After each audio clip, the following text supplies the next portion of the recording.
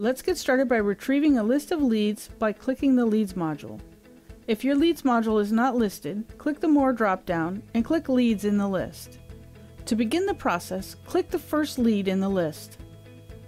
Then, click the Actions menu drop-down and select Convert Lead. This lead is already associated with a company name, Mobile Telephone, which is a new account. How do I know? I can uncheck the Create Account option and begin typing the company name in the search field to be sure. Now that we're sure there's no existing account, we can re-click the Create Account checkbox. Depending on your business process, you may choose to create an opportunity at the same time as converting a lead.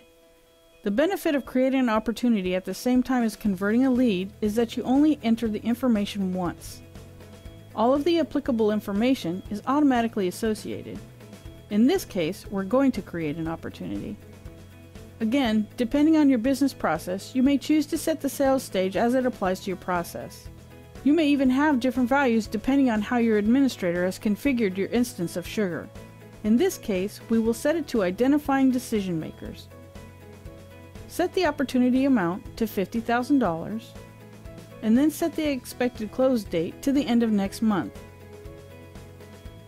I'm going to add some helpful information in the description so my boss will be happy with the extra detail. At this point, we could log a call or schedule a follow-up meeting or select any of the other options, but we will save that for another video. For now, we'll just click Save. You see the information about the records that were created as a result of the lead being converted. Let's click on the contact name and scroll down to the Opportunities subpanel. We see that the opportunity was created. Let's click the Ma Bell opportunity to see how the information is displayed.